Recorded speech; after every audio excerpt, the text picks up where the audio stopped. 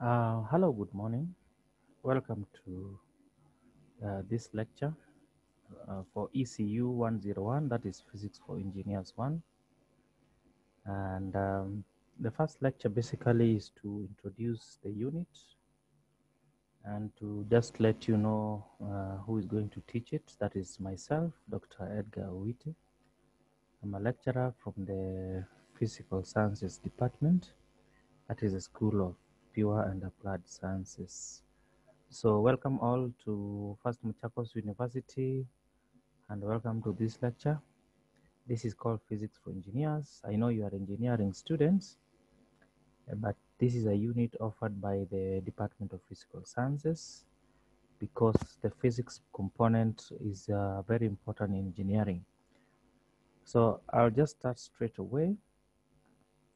The first topic uh, that we shall discuss is the properties of matter, as you can see on the screen there. Uh, but remember, the course outline I've already shared with you in the LMS system. So you can have the course outline so that you'll be able to follow what lecture, uh, I mean, what is the what content is being is being covered in in each lecture every week. So. Um, my screen. So this is what we shall be discussing today. I have put it uh, in, in, two main parts. First, we shall do an introduction to physics for engineers. The, that is basically the connection between physics and engineering. So under that one, we shall look at physics and engineering as a sub area then we shall look at what we call nature and laws of physics as another sub area.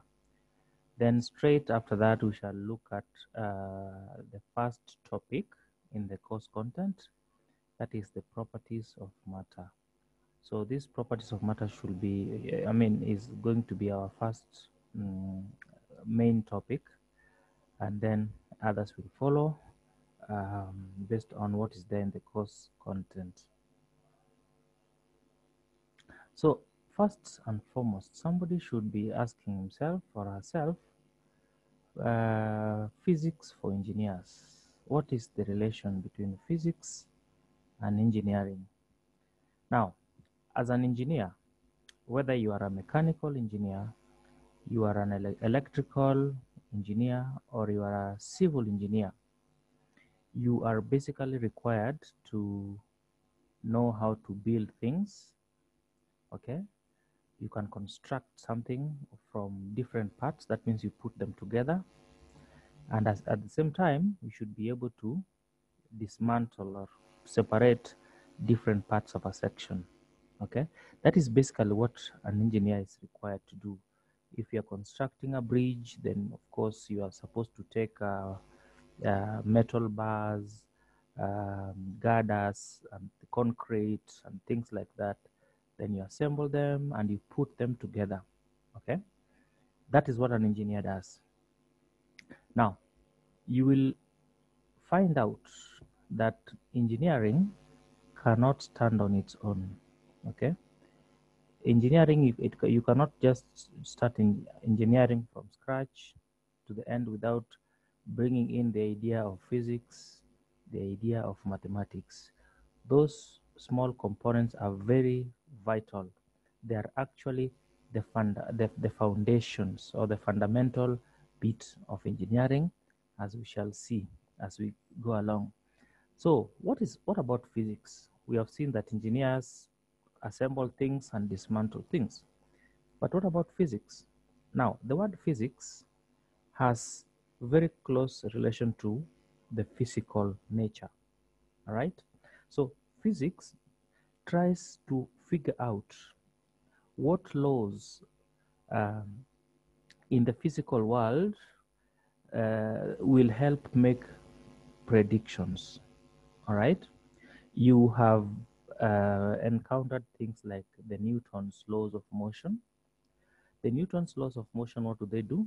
They try to predict how uh, motion of a body will be under certain conditions okay the conditions could be uh, on, on, whether when the road whether the road is smooth what will the speed of the car be after maybe five seconds? If the road is rough, what will be the speed? How much friction is required to stop the vehicle? So that is, those are, there are laws that are trying to predict the physical world. Okay, so physics brings in the fundamental laws. Engineers, after they have been guided by the laws, they can now decide to take a particular weight of a, if it is a, a steel beam, they can know how much weight to put in a bridge um, uh, to, to support maybe a number of vehicles or something like that. But basically physics builds in the foundation by introducing the laws that will predict uh, nature. So it tries to boil the universe down into some basic mathematical laws. Engineering, on the other hand, is concerned with figuring out how to design, build, and use structures and machines. All right, so I think you, from there you should be able to see some difference physics brings in the laws. Okay, I've mentioned Newton's laws. There's, there's something called Hooke's law. There's something called stress, strain, Young's modulus. Uh, if it is electricity, you have Ohm's law. You have the Kirchhoff laws, uh, and many other laws in in in, um, in, in electrical. If it is mechanical, you have now the Newton's laws is mechanical, you have the Hooke's law that is mechanical, uh, and, uh, and, and many others that probably you may not be aware of at this point, but as you proceed, you should be able to know. So physics brings in laws, engineering tries to figure out how to design and build uh, structures and machines. Okay, so let's look at this example. Let's say you are building a complex suspension, suspension bridge, that is for civil engineers. You, you are required to build a bridge that is very strong, a bridge that can take the weight of thousands of vehicles.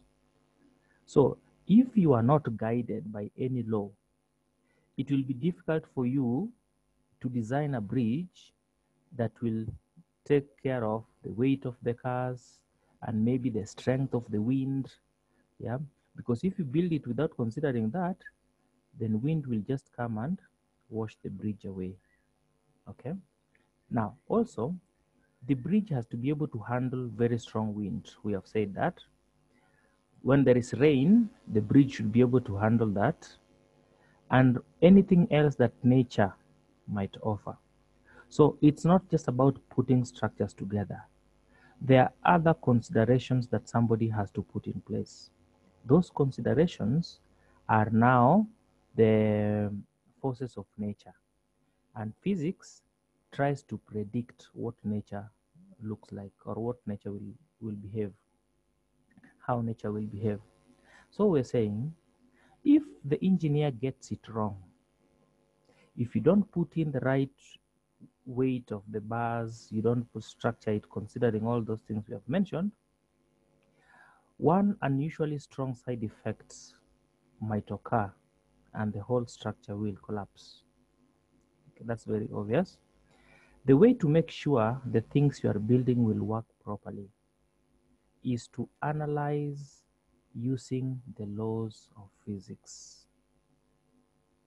An engineer, you must remember that even when you see um, engineers constructing roads where you live, or maybe you, if you have seen tractors building roads, it's not just putting concrete and stones together. There is calculation that is done already to make sure that if uh, whatever weight of vehicle passes that road, it should be able to handle.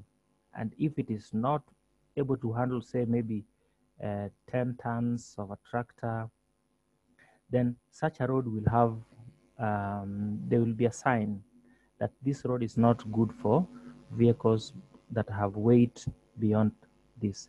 So how, how they tell the um, uh, what I mean, what kind of vehicle should pass there is based on some calculations, and those calculations come from the laws of physics. Okay, so now you should be able to be seeing, you should be, you should start seeing how physics is related to engineering. The laws of physics are used to predict what engineers should be able to do. Okay, so the laws of physics can tell you about the forces, the tension, the vibrations, oscillations, the strength, elasticity, and all kinds of other concepts that you may use to predict calculations about your bridge. I've already mentioned that. So simply put, if you understand the laws of nature, then you can use that knowledge to predict what will happen to the things you are building. Engineering involves applying physics in technical ways, applying it to technology. I think that is very clear. So I have uh, put for you a question here that I want to challenge you to also try to answer it. The question is, identify two areas or examples in your engineering field where physics and engineering are interrelated. In each case, explain how the two are related. So what I'm saying here, if you are doing electrical engineering, identify two areas where physics and engineering are interrelated, where one requires the other. If you are in mechanical engineering, or if you are doing mechanical engineering, you need to do the same uh, identify areas where engineering and physics are interrelated. If you are in civil engineering, I've already mentioned about the suspension bridge, but there are several others. I need you to identify two and explain how the two are related. I think that is a very small activity that you can do and then share, let's share it in, in class. So our first topic begins here. That is the properties of materials this this particular topic is important because different materials have uh, different applications okay? If you want to build a hammer you need to select a specific type of metal. If you want to build uh, maybe the tire of a vehicle uh, you need to select a certain type of material. I mean basically everything that you can think of is a material. And different materials have different applications. So this topic is very important because we shall be able to define all the properties of materials and where they are basically needed. So the properties of materials are a way of describing what a material is capable of and how it will behave under certain conditions. This is important when choosing materials for certain jobs. For instance, choosing building materials or finding a good electrical insulator for handle of an electrician's screwdriver. So that is just an introduction. Now, density is one of the basic properties because different materials have different densities. We all know water has a density of a thousand kilograms per cubic meters. Milk has a different uh, density, 800, I think, kilograms per cubic meters. If you go to solids, wood has a different density, different metals have different densities and so on. So density is uh, one of the main properties that defines a material, okay? So the density of a material tells you how much mass you find in each cubic meter, okay? If you remember, the, the SI unit of density is kilogram per cubic meters. That means uh, for every cubic meter, how much weight do you find there? If it is a piece of uh, a piece of uh, solid, if you if you take a volume of one cubic meter and get the mass of that volume, then that be, that mass becomes the density. That's why we call it, uh, I mean, uh, mass per unit volume. So mass divided by the volume. It depends upon the mass of particles which make up the, the material and how closely they are arranged. For instance, most substances become more dense when they freeze as the arrangement of particles become more ordered and therefore closer together. So again, here we are just emphasizing what uh, the definition of density is. For example, you don't expect the density of air to be the same as the density of water. The reason is very simple. If you look at air, which is also a material, the distance between the particles is very big compared to the particles in water. So if you take one cubic meter of air and you measure that weight, it will be much smaller compared to you take again one cubic meter of water and you measure the weight. So you find weight will have a, lot of particles in one cubic uh, meter. we'll have little particles in one cubic meter. So that's another way of how to look at density. But we are saying, even though we are saying that when, when, when substances freeze, when they become solid, when they change from liquid to solid, then the particles become very close and the density increase. But water is uh, one, one material that, is, that has a slightly different um, trend when it comes to the density. You have learned something called the anomalous expansion of water. That is the abnormal behavior of water. Water has the maximum density at around 4 degrees. So beyond 4 degrees, when you heat water, it expands just like any other substance. But from 4 degrees coming down, if you freeze water from 4 degrees backwards, you don't expect the particles to come closer together. Instead, the particles become more spaced. That means the density um, the density decreases, okay, because it becomes more spaced, while the volume increases. So water is just one one material that has um, that has a different trend in terms of uh, behavior of density. But let's look at others. So basically, uh, density is uh, mass per unit volume and is measured in kilogram per cubic meter. Liquids and gases can also, you can also get the density by same formula, that is mass per unit volume. Although we know that liquids can, cannot be compressed, and so they occupy a fixed volume. But as they flow, they do not maintain a fixed shape. Yeah, if you put water in a, one container, it takes the shape of that container. If you change the container, the shape of uh, the water changes. So they do not have a fixed shape. So this means that density of a liquid does not change regardless of what shape it takes. So the shape and density are not related. Gases expand to fill whatever container they are put in. As such, they have no fixed shape and their volume also depends on the volume of the container. Therefore, the density is also fixed and depends upon the volume of the container. I think that is uh, Form 1 physics.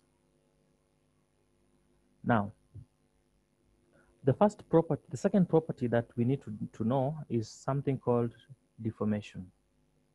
To deform, to deform basically means to, to change the form or to change the shape. So how do you change the shape? If you squeeze something like an ugali when you want to eat it, you basically uh, put some force on all direction. So when you do that, you are actually deforming it. If you take a rubber band and you try to pull it on both uh, two sides, the shape changes. It becomes thinner and longer. So that is deformation. So when a force is applied to a material, we say that stress has been applied to it.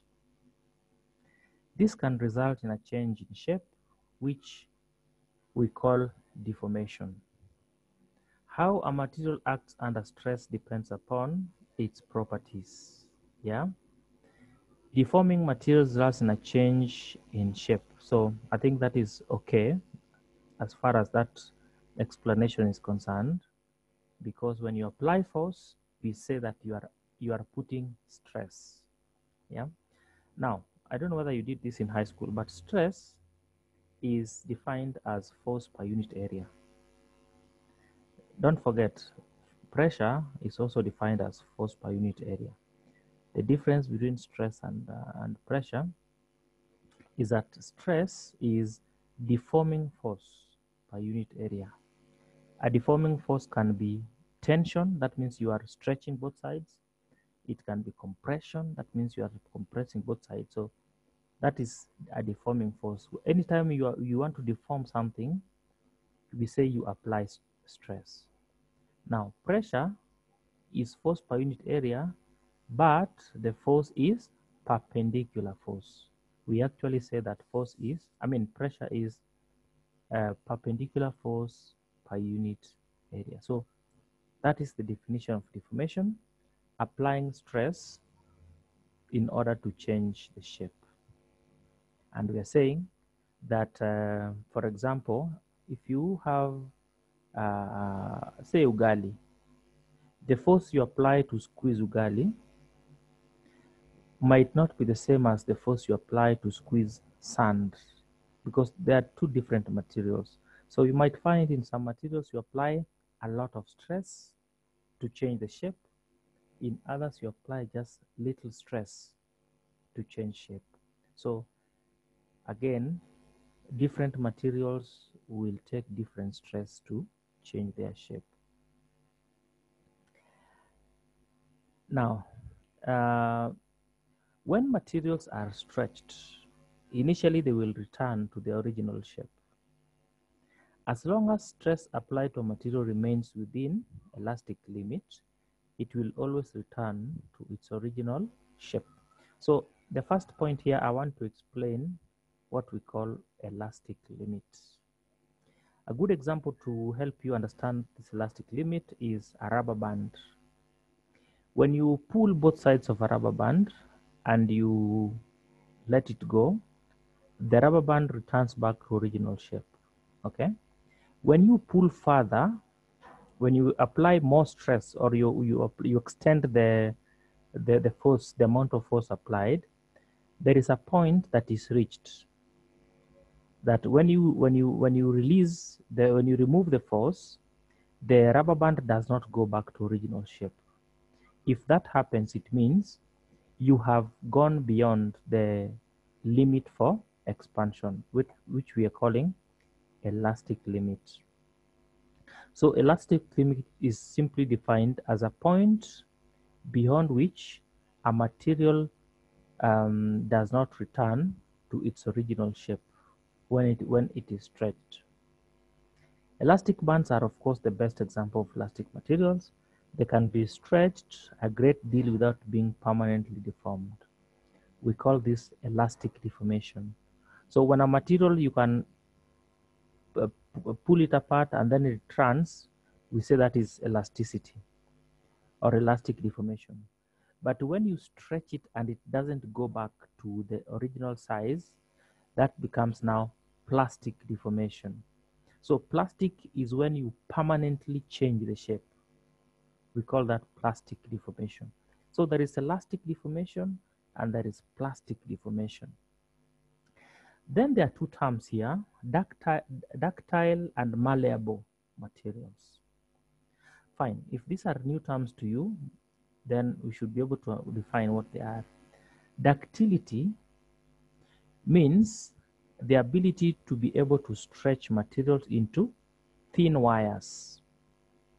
If you, if you have a big volume of say copper, now if you put some force into the copper, that means you deform it so that it, you turn the volume into some thin wires, then we say that material is ductile. There are materials that you cannot do that. If you try to make them thin, they break easily. So the material, materials that behave that way are not ductile. Malleability. Now, you have seen what we call the iron, iron sheets for roofing our houses. before an iron becomes into a thin sheet, it was once a big lump of iron, just like a stone, a big one. But then, if a deforming force is applied on that iron to make it flat, if it becomes flat without breaking, then we say that that material is malleable. So malleability is the ability to deform material to become uh, thin sheets. Okay, if you can turn a material into a thin sheet, then it is malleable. If you can turn a material into a thin rod, then that is ductility. So the difference between these two is that um, sometimes you might want to change, say, copper. Copper is a good ductile material. That's why we use it for making electrical wires. Electrical wires are thin and long, and they are made of copper, and some of them aluminium. If you try using other materials, it, they might not become very thin, or you might not be able to even bend them, so they will break. If they break, if they don't deform into thin sheets, then we call that brittleness. Okay, just like biscuit, you try to bend biscuit, it breaks without bending. That is brittleness. So ductility is for making thin rods. Malleability is for making thin sheets. Elasticity in other materials relies on the bonds between the molecules behaving a little like springs. But some materials are often not very elastic and will soon snap as the bond break. So that is elasticity. Now, stiffness, this is not a new term. Stiffness is the resistance a material offers to being bent, whether elastically or plastically. So, simply put, if you try to bend, the keyword here is bend. If you try to bend a material and it breaks, we say that material is not stiff. If you are able to apply a lot of force for you to bend the material, then we, we say that that material is very stiff. So the idea is, if you want to deform a material by bending, then the amount of force you apply to make it bend or to break will define whether the material is stiff or not stiff. A steel sheet can be plastically or permanently bent. A wooden sheet or a wooden rod can be elastically bent. Both require considerable force and both are stiff. So again, there's a comparison between steel and wood. We are saying steel, if you want to bend steel, yes, you can bend steel, but the amount of force you need to bend steel is not the same amount of force you need to bend what? Wood. So the two materials are stiff, but one is more stiffer than the other. Here, I think steel, when you, need a lot of force for you to bend steel, but you need just a little force to bend uh, wood. So steel becomes stiffer. We have defined ductility already. A ductile material is one which is relatively easy to stretch beyond elastic limit. This is plastic deformation, which means that once stretched, the material will remain in that shape. If you take some Blu Tack, okay, I'm sure you know something called Blu Tack. It's very common in the lab, especially the chemistry labs, and carefully stretch it. It gets longer and thinner without breaking and retains its shape when the load is removed. Okay, so the ability to stretch a material to make it into thin rod gives, I mean, defines the ductility. Copper is a good example of a ductile material.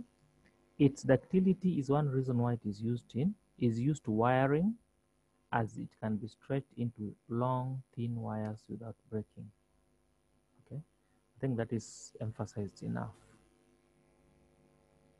Oh, so for this first lecture, I think we have only defined those few materials, those few properties of materials.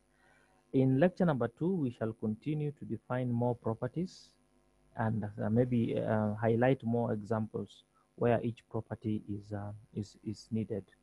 So for this particular lecture, I think that is the end. Uh, I would want you to simply uh, listen to this lecture uh, again and again, and probably you can also uh, download these notes so that you have them as part of your uh, archive because the exam will cover everything from day one up to the time when you, you shall be doing your examination. So uh, thank you very much for listening. Be ready for lecture number two very soon. Thank you very much.